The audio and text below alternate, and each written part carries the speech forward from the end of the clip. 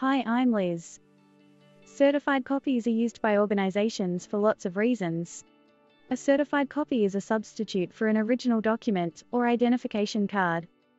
When you need a certified copy of a document, the Justice of the Peace or Commissioner for Declarations is stating in their opinion that the document is genuine, true, and complete copy. The first step is to check what is needed. Is there special wording needed? Some organizations have particular requirements. Does the copy need to be in color or is black and white okay? Do you need both the font and back of the ID card certified? How many copies do you need to supply?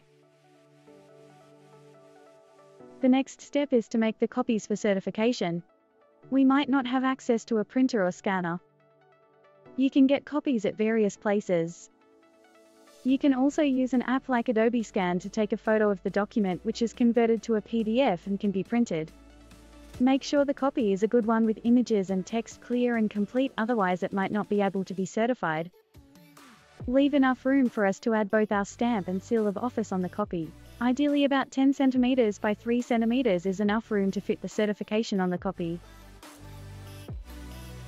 It is not necessary that you personally have to get your certified copy, someone else can do it for you.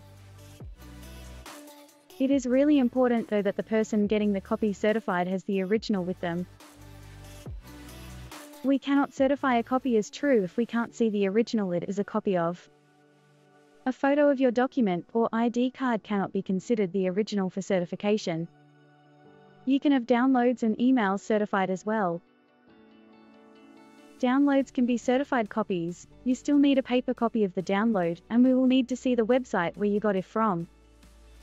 Email attachments can be certified, but we will need to see the email and open the attachment. We hope that helps. You can locate a JP at many shopping centres, libraries and courthouses. You can also find a JP by visiting the QJA Find a JP service or through the after hours search on the Queensland Government website. Goodbye for now.